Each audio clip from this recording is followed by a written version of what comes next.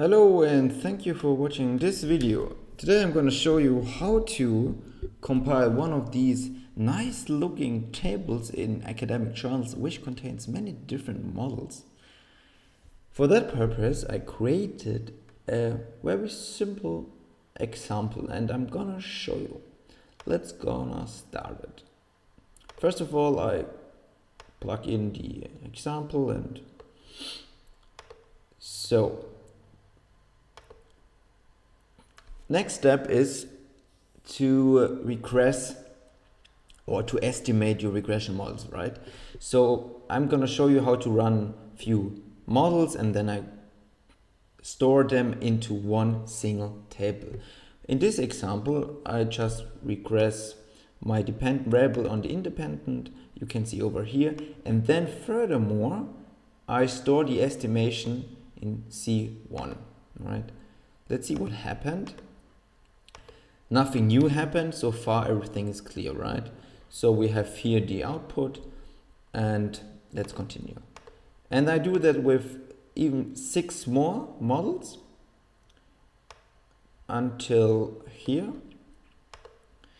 And let's see what happened. Well now I have seven singular models which explains my uh, dependent variable. But now I want to add them all into one single table to publish them into my dissertation or whatever you like to do with them.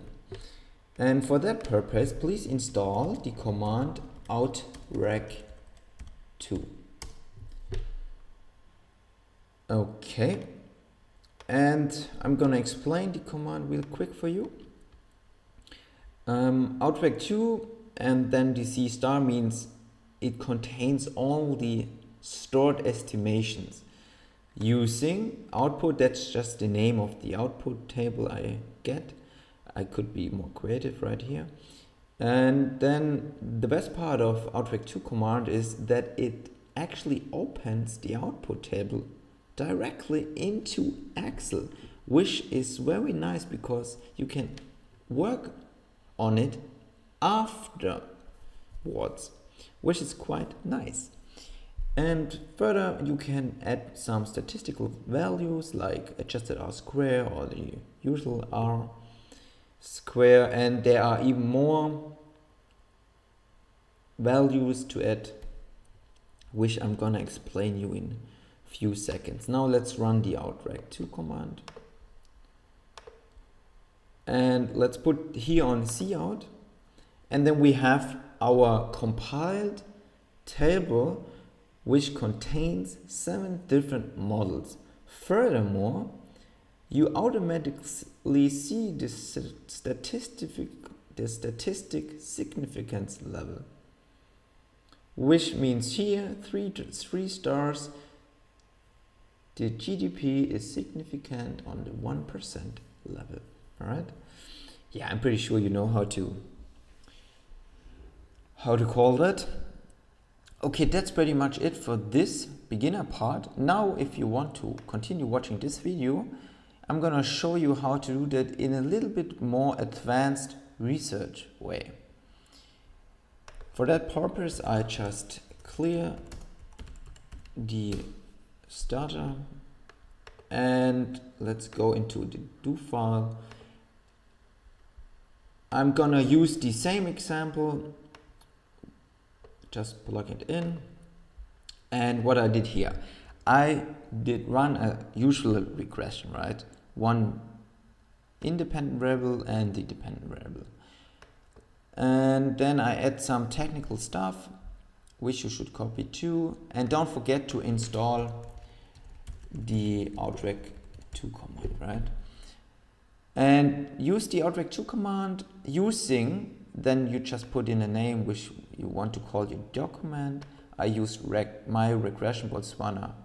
Let's call it 3 because I used it already somewhere. And then replace a text. Now you can even more add a text even more into your table. IV stands for instrumental variable. Did I use an instrumental variable? No, right? Did I use control variables? No. and then you can add some more statistical values like r square or r adjusted r square, the f test, and so on, right? And the same the same model I run with an additional variable and using outreg2 command. Instead of replace, I add a append to it, right? And then I run the same um, commands over here into this one, right? So let's see what happens if I run the model, the four commands. Let's click on seeout. And then I have the nice looking compiled table which contains right now only two models, right? So then I have here, oh, I see a mistake. The variables is called IV here, so I can quickly change that. Sorry for that. See, title is here called not IV, but it's called OLS, right? So that should make it clear again. So let's go back to the seeout. Um, yeah, and oh, I forgot also here the um, to add the f test and the, uh, to add that into the second model, but you can have the do file. If you see the description box, just text me and I will send you the do file and then you can add that on your own. I think you are skilled enough to do so. And that's pretty much it for today. I hope you enjoyed this video and it was useful for you, I guess. And yeah, thank you for watching this video. Bye bye.